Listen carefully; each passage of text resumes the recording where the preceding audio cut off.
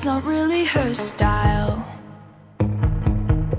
And they all got the same heartbeat, but hers is falling behind.